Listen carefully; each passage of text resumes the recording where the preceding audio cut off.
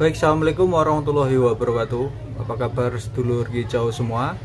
Di mana pun teman-teman berada Semoga selalu diberi perlindungan Dan keselamatan Dan dilancarkan rezekinya Oleh Allah subhanahu wa ta'ala. Amin ya robbal alamin. Oke, di video kali ini kita akan coba bahas dua cuca hijau ini yang di depan kita untuk mempersingkat videonya kita langsung bahas satu persatu perbedaan cak hijau yang masih kuningan di depan kita. Ketika teman-teman datang ke tempat ombyoan cak hijau amati dengan teliti dan dengan sabar. Nggak boleh terburu-buru. Seperti ini. Ini burung dua-duanya masih bahan jadi masih kemeradak sekali memperadak itu giras giras parah. Jadi teman-teman harus pantau pelan-pelan tunggu sampai dia anteng. Untuk yang pertama kita lihat posturnya. Oke? Kita amati yang sebelah kanan dan sebelah kiri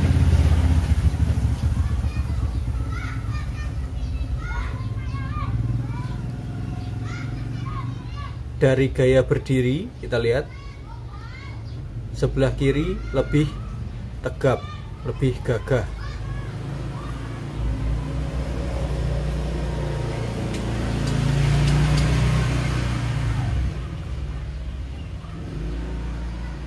Burung yang sebelah kanan cenderung lebih rendah berdirinya itu bungkuk kurang tegap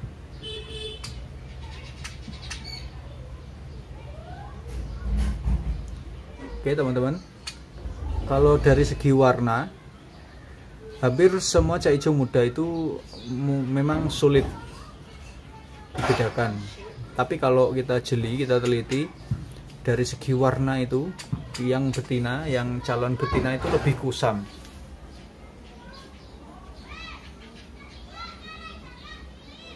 Hijaunya tuh kurang seger. Coba kita tampak depan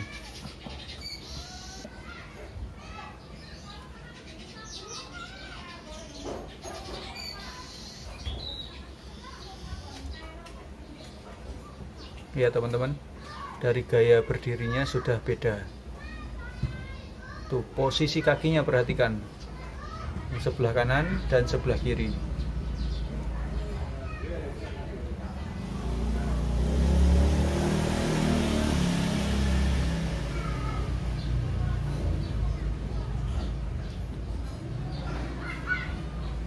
Yang ini lebih rapat ya. Posisi kakinya lebih tinggi yang ini lebih sering kayak lebar gitu loh kayak nunduk posisinya.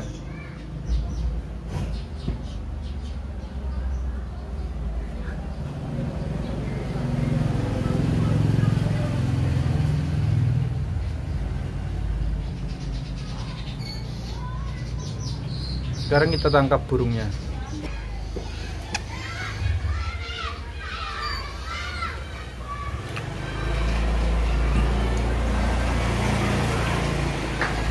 Oke teman-teman ini kita burungnya udah tangkap. Yang perlu kita lihat pertama kali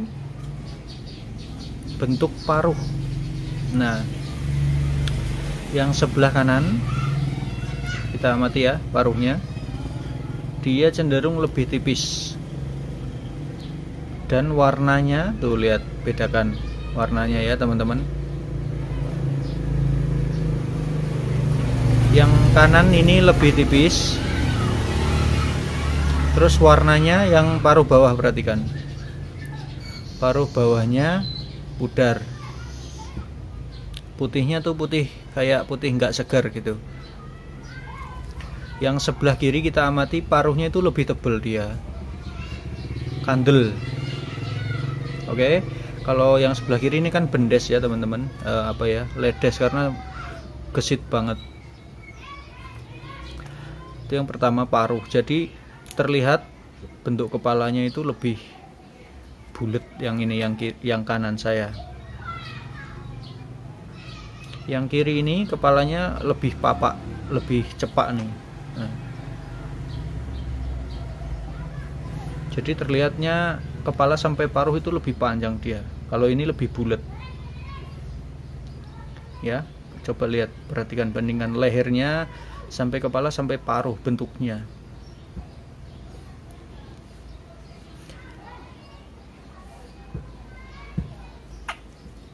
Nah lihat ya teman-teman. Terus yang paling penting berikutnya adalah list biru. Ini ini kalau saya list biru itu penting sekali karena itu menandakan burungnya udah menginjak dewasa. Kalau semakin biru biru tegas ini yang list biru di leher ini nah ini. Semakin tegas artinya burung itu makin dewasa. Seharusnya kalau jantan itu udah diikuti dengan trotol. Kalau pilih yang list birunya belum nampak atau masih hijau. Seperti ini ya. Kalau udah muncul tegas list birunya saran saya sih di skip aja. Oke teman-teman. Terus kita bandingkan kelopak mata.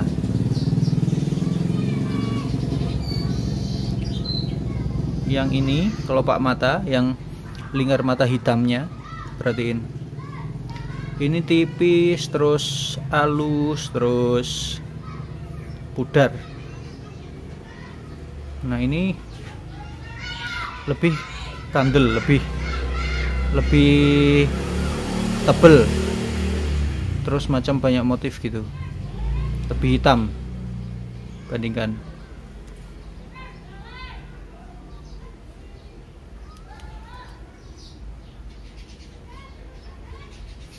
walaupun ini matanya lebih lebar tapi alis apa lingkar matanya itu lebih lebih terang dia tipis.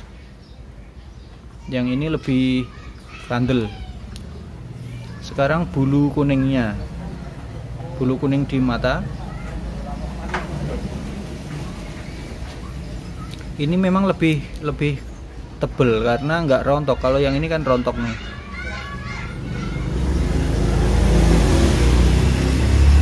Dia kuningnya tuh kuningnya kuning ya kuning aja gitu kuning kuning ringan. Kalau ini kuning agak orange orange gitu.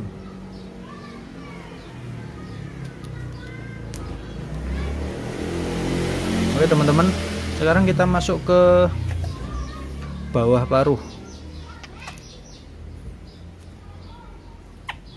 Kalau yang sebelah kiri ini ya lihat kita lihat bawah paruhnya warnanya. Ya teman-teman dia agak tebal terus. Yang sebelah kanan ini ini tipis terus pudar. Nah ini ini lebih tebal terus warnanya tuh seger. Ini lihat.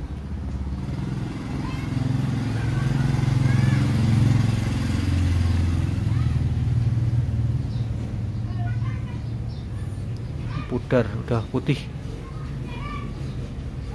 beda ya teman-teman. Putihnya tuh beda.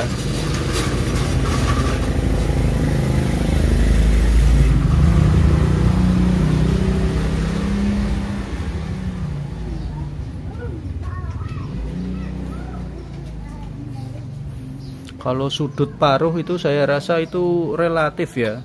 Kalau ada yang model memang U lebar banget ada yang kayak gini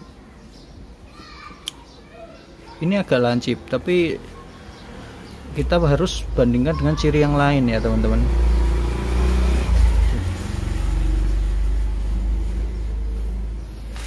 Terus berikutnya bulu bulu leher. Nah, ini cenderung lebih orange dia lebih kuningnya kuning tegas. Kalau ini kuningnya malah agak kusem gitu loh Tuh, kelihatan ya teman-teman bedanya. Tuh. Kelihatan nggak? Kuningnya udah beda. Tuh. Oke. Beda ya? Susah soalnya jabrik terus ini. Tuh. Bedain coba. Amati saya kasih video yang lebih lama. Amati kuningnya.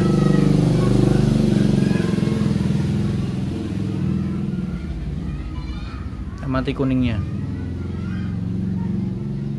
Lebih tegas yang mana? Lebih tegas yang kiri. Oke teman-teman. Nah kalau dari kaki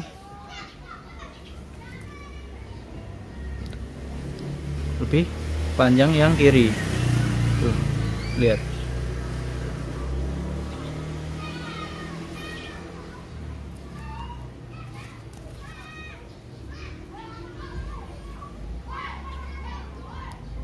Terus dari cakarannya juga kuat yang kiri ini. Lebih gesit yang ini dari kesehariannya. Aktivitasnya ini lebih lebih gesit ini lebih cenderung lemah lembut. Oke teman-teman kalau dari segi ekor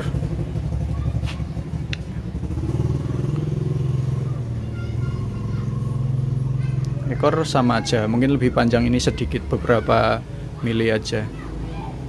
Kalau dari segi warna teman-teman bisa amati ya teman-teman.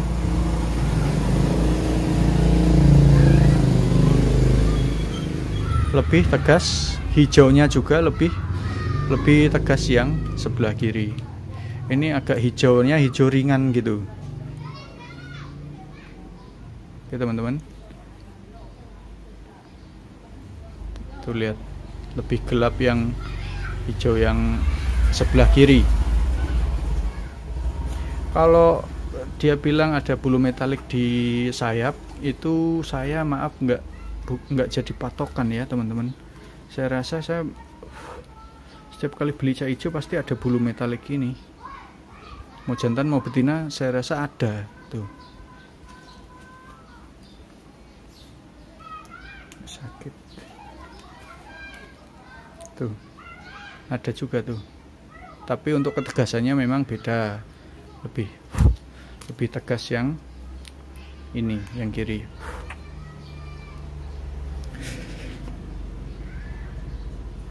Hmm, bulu hijaunya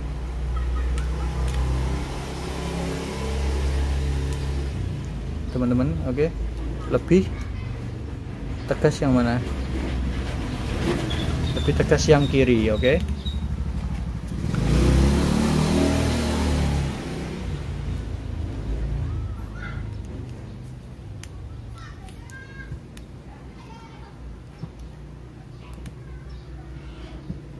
bulunya beda ya untuk kesehariannya untuk kicaunya kicaunya ini sama aja kicau. Sama juga bisa gacor.